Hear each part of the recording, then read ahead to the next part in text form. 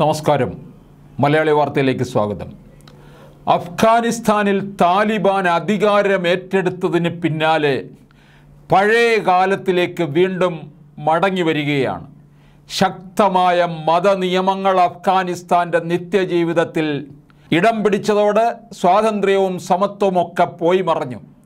ഇതിനിടയിലാണ് ബച്ചാബാജി എന്ന ദുരാചാരത്തിന്റെ വാർത്തകളും അഫ്ഗാനിസ്ഥാനിൽ നിന്ന് കേൾക്കാൻ തുടങ്ങിയിരിക്കുന്നു. കൗമാരപ്രായത്തിലുള്ളതോ അതിലും ചെറിയ പ്രായത്തിലുള്ളവരോ ആയ കുട്ടികളെ താലിബാൻ തീവ്രവാദികൾ വിനോദത്തിനായി വാങ്ങുകയും അവർക്ക് നൃത്ത പരിശീലനം നൽകി ലൈംഗിക ചൂഷണത്തിന് വിധേയരാക്കുകയും ചെയ്യുന്ന രീതിയാണ് ബച്ചാബാജി. ഏറെക്കാലം അഫ്ഗാനിസ്ഥാനിൽ ഉണ്ടായിരുന്ന പ്രത്യേക അമേരിക്കൻ സേനയ്ക്ക് പോലും ഈ ആചാരത്തിനെതിരെ ശബ്ദം ഉയർത്താനായില്ലെന്നുള്ളതാണ് വസ്തുത. ഐക്യരാഷ്ട്രസഭ പോലും ബച്ചാബാജി അഫ്ഗാനിസ്ഥാന്റെ ആഭ്യന്തര കാര്യമാണെന്ന് പറഞ്ഞ് അതിൽ നിന്നും വിട്ടുനിൽക്കുകയാണ് ചെയ്തത്. അത്രത്തോളം അഫ്ഗാനിസ്ഥാനിലെ മതത്തിന്റെയും പുരുഷ മേധാവിത്വത്തിന്റെയും പ്രതീകമായി ബച്ചാബാജി എന്ന ആചാരം മാറിക്കഴിഞ്ഞു. കുട്ടികളുടെ കളി എന്നർത്ഥം വരുന്ന പേർഷ്യൻ പദത്തിൽ നിന്നാണ് ബച്ചാബാജി എന്ന വാക്കുണ്ടായത്. ബച്ചാബാജി സമ്പ്രദായത്തിന് കീഴിൽ എട്ട് വയസ്സ് മുതൽ പതിനാറ് വയസ്സ് വരെയുള്ള ആൺകുട്ടികൾ ലൈംഗിക അടിമകളായി മാറുകയാണ്. അഫ്ഗാന്റെ പ്രാന്തപ്രദേശങ്ങളിൽ ഇതിനെ ബച്ച ബാരിഷ് എന്നും വിളിക്കുന്നുണ്ട്. താടി വളർത്താത്ത കുട്ടിയെയാണ് ഈ ആചാരത്തിലെ പ്രധാന കഥാപാത്രം. കുട്ടികൾക്ക് താടി വളർന്നു തുടങ്ങുന്നതോടെ അവരെ തിരിച്ച് വീട്ടിലേക്ക് വിടുകയാണ് പതിവ്. പതിനാറ് വയസ്സോടുകൂടി മിക്ക കുട്ടികളെയും തിരിച്ച് വീട്ടിലേക്ക് വിടുകയാണ് ചെയ്യുന്നത്. അങ്ങനെ തിരിച്ച് വീട്ടിലേക്ക് പോകുന്ന കുട്ടികളിൽ പലരും ചെറുപ്രായത്തിൽ തന്നെ ലൈംഗിക രോഗങ്ങളുടെ ഇരകളായിത്തീരുന്നു. അതുമല്ലെങ്കിൽ മയക്കുമരുന്നുകളുടെ അടിമയായി മാറുന്നു. ഇത്തരത്തിൽ തിരിച്ച് വീട്ടിലേക്ക് എത്തുന്ന കുട്ടികളെ അവരുടെ കുടുംബാംഗങ്ങൾ പോലും സ്വീകരിക്കുന്നില്ല എന്നുള്ളതാണ് യാഥാർത്ഥ്യം.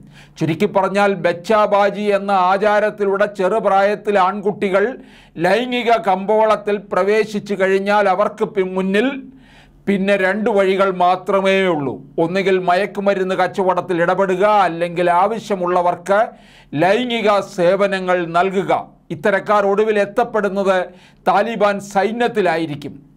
ആൺകുട്ടികളെ ലൈംഗികമായി ദുരുപയോഗം ചെയ്യുന്ന ബച്ചാബാജി എന്ന ആചാരത്തിനായി എത്തുന്ന കുട്ടികൾ ദരിദ്ര കുടുംബങ്ങളിൽ നിന്നുള്ളവരായിരിക്കും.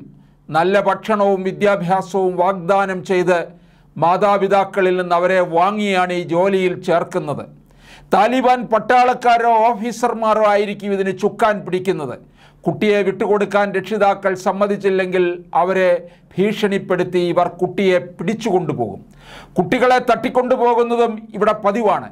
ചുരുക്കി പറഞ്ഞാൽ താലിബാൻ ഭീകരന്മാരിൽ നിന്നും ആൺകുട്ടികളെ രക്ഷിക്കാൻ അവരുടെ രക്ഷകർത്താക്കൾക്ക് യാതൊരു മാർഗവുമില്ലെന്നുള്ളതാണ് യാഥാർത്ഥ്യം.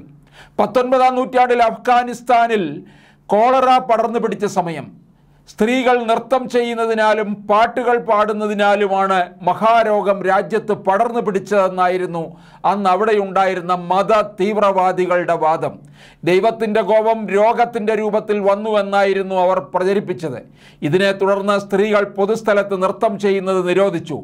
ആ സമയം അഫ്ഗാൻ പുരുഷന്മാർ സ്വയം വിനോദത്തിനായി ഒരു പുതിയ മാർഗം കണ്ടെത്തുകയായിരുന്നു. അവർ സ്ത്രീകൾക്ക് പകരം ആൺകുട്ടികളെ ലക്ഷ്യം വയ്ക്കാൻ തുടങ്ങി. അതായിരുന്നു ബച്ചാബാജിയുടെ തുടക്കം. ബച്ചാബാജിയുടെ ഭാഗമായി അഫ്ഗാനിലെ മത തീവ്രവാദികൾ ആൺകുട്ടികളെ നൃത്തം പഠിപ്പിക്കാൻ തുടങ്ങി. ഒരു സ്ത്രീ നർത്തകിയെ പോലെ ആൺകുട്ടികളെ വേഷം ധരിപ്പിക്കും. പട്ടുവസ്ത്രം ധരിച്ച് നഗ്നപാതനായിട്ട് വേണം നൃത്തം ചെയ്യാൻ. ബച്ചാബാജിക്കായി തിരഞ്ഞെടുക്കുന്ന കുട്ടികളുടെ മുടിയുടെ മുൻവശം വെട്ടിക്കുറയ്ക്കും. പിന്നിലെ മുടി സ്ത്രീകളുടേതുപോലെ നീട്ടി വളർത്തും. പുരികങ്ങൾ കറുപ്പ് വരച്ച് കടുപ്പിക്കും.